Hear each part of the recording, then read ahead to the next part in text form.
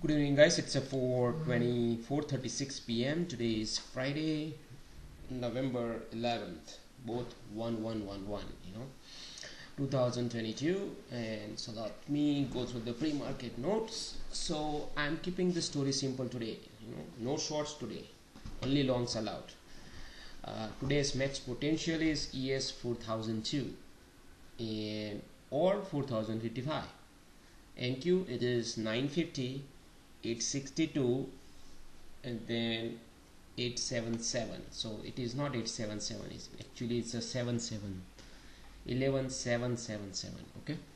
So it's a typing mistake. Uh, pullback long location in NQ is yesterday's closing area or 527 pink line area which was our preferred buyers area basically you know 555 575 to 525 so it is listed in the chart. It's a preferred buyers area. And and I expect buyers to hold above as a bare minimum requirements right? So minimum requirements is this hold above basically aggressive buyers prefer buyers backup buyers right? That is the potential long location or long setup to look for right? And then these are the super aggressive areas okay look for a failed breakdown scenario as well right? So and then 754 709 are the dream number very powerful numbers right? So overall you are looking for longs right?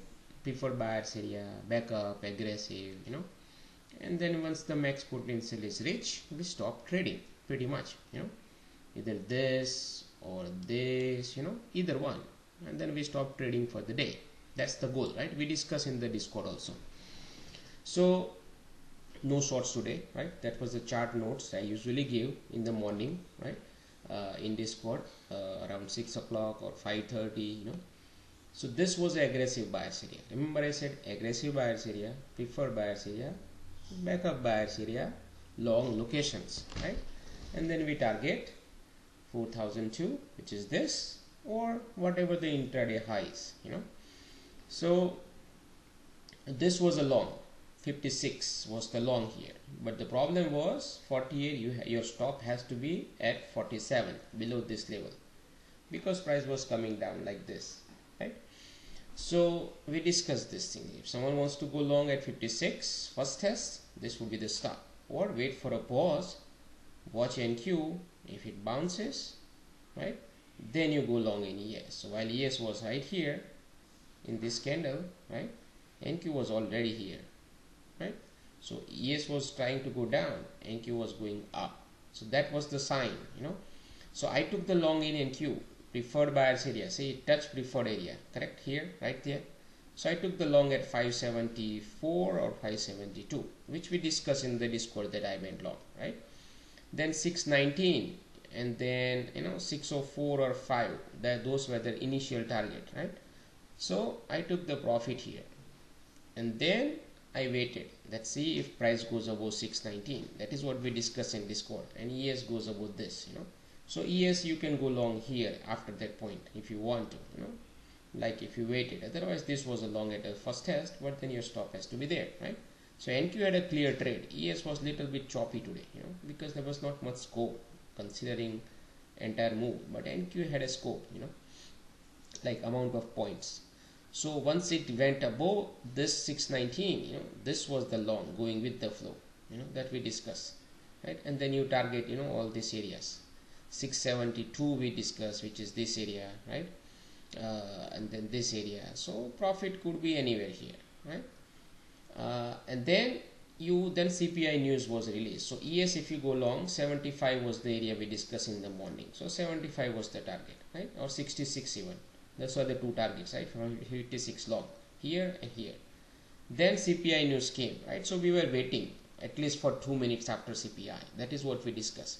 The whole idea was we discussed was during the CPI price balanced between this and this. It was a 100 point move in NQ back and forth right?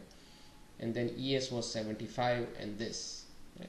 So at least one thing we discuss is regardless of news no shorts right? But look for lower support. If it holds it look for breakout about this right? So hold on guys. So so we took we look for a breakout here you know and we were watching this 683 area in NQ and 75 in ES right? So the moment it broke out we didn't enter at the first time. We were just watching it right? That what happens because it could be a trap too you know, who knows? So when this thing happened right look at this even two minute candle it didn't even close above it correct? But then it came down. See now it's very important because now some sell buyers are trapped here. That was the whole idea. The question is not this question is what price does afterwards. So price couldn't even go down right? See ES also couldn't go down here. No more than this 60 right? Then again it came back up. See that was the sign to go long right? So now see this time if you look at here this candle see that? It closed above all this. That was the sign you know. Now buyers are there you go long right here and you target this preferred sellers area or dream number basically right? So here you bail out. That's it you know. Dream numbers this preferred sellers area basically right? That was the whole target here you know. That's a max potential also one of them. Second one was this right? Es by that time went to 90 you know. So here you have to bail out es also same time with nq right? Now we discuss why 90 held it here right? There was even though there was no level but we know right? We discuss in this discord there were two reasons with that we discuss in this discord that why 90 held it here right? So this was a bailout opportunity for this long and then the friday is over right here you know, because price reached maximum potential here you know, even though 4002 was the target but nq reached ahead of it you know. so there is no trading after that. Because now the longs you can't take it because most likely you know once the target is reached max potential price may balance you know and then ping pong and then later in the day it may move up or down right? So why bother on friday all these things? Any or regardless of friday any day. And you can see it. See that whoever try to go long about this area see assuming they don't know about the preferred sellers right? Look what happened. They got trapped right here. And then price came down right and then it, it like give you a false sense of hope that hey this 734 held it here right? And then it again went higher and then look at this what happened. See? So that is the story you know? So after that there is no more trading and you know that be all for today you know? I'm not going to discuss all this thing later on. And i'll see you on monday